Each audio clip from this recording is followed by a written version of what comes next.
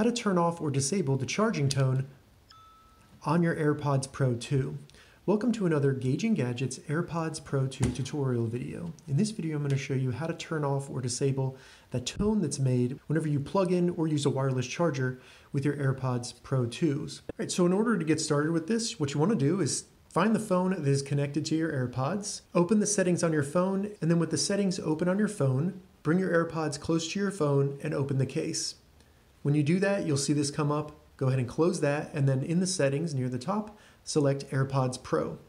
From here, we just need to scroll down, and you will see Enable Charging Case Sounds.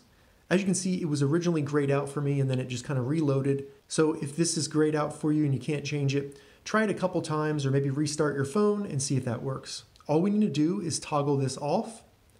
And now we can close the settings. And when we charge our AirPods, they will no longer make any sound or tone. All right, so that's how you turn off or disable the charging tone on your AirPods Pro 2s.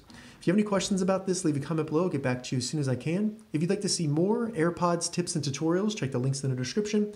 If this video helped you, give it a thumbs up and please consider subscribing to my channel Gauging Gadgets for more gadget reviews and tech tutorials. Thank you so much for watching.